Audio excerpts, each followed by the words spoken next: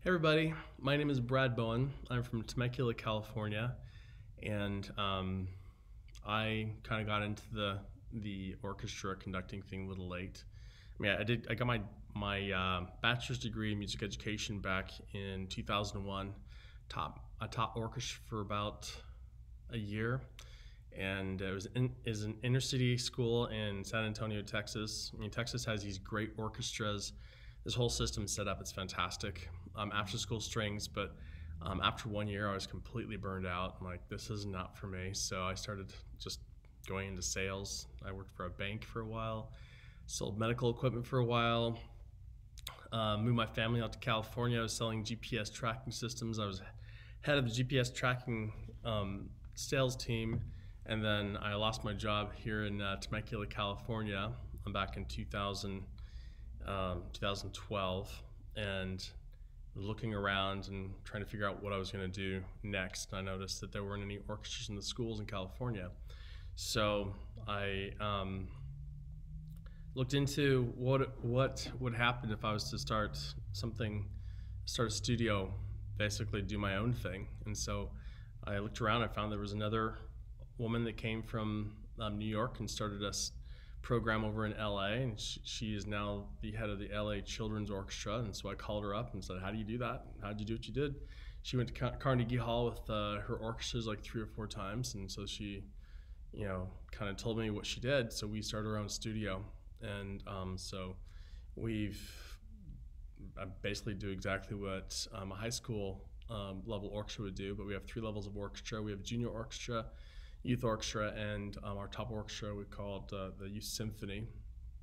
It's a private studio, but we open our orchestras up to the community. So this is our studio right here. Actually, this is our orchestra room. Uh, this is us at Carnegie Hall about two years ago, 2019. um, we've had to create a nonprofit to you know purchase all these pieces of equipment. Um, this is back in 2014 we started. 2015, 2016, 17, 18 over the years. So everything we've kind of had to do ourselves. Um, myself, basically. But anyway, I'm excited to get together with everybody. Um, I'm excited to learn the ins and outs of conducting at a higher level. So that's basically why I'm getting my master's degree in, in orchestral conducting so that I can get better at uh, what I do because we, we, have great, great plans for growing our program here. And um, that's it. I'm just excited to get to know everybody.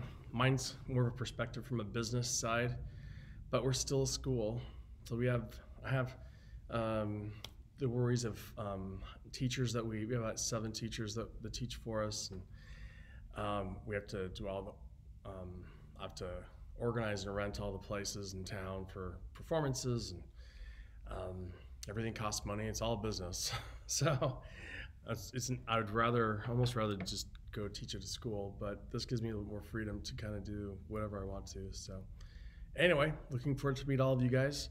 Um, background: I have uh, six kids. Oldest one's 25.